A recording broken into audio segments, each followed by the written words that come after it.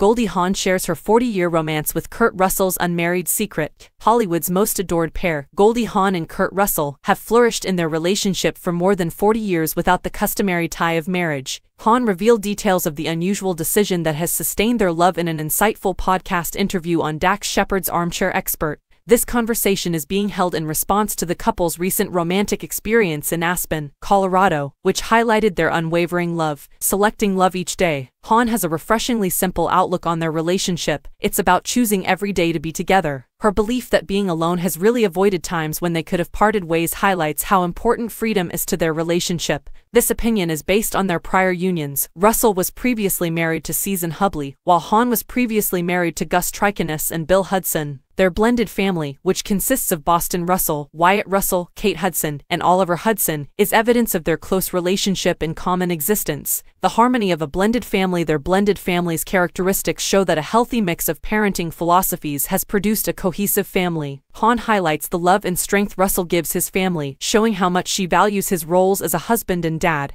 Their family's harmony and well-being have been enhanced by their complementary, but different parenting philosophies. Hawn's account of Russell's kind acts, like bringing her coffee in the morning and spending impromptu moments of tenderness, presents a picture of a very close couple who still like one another.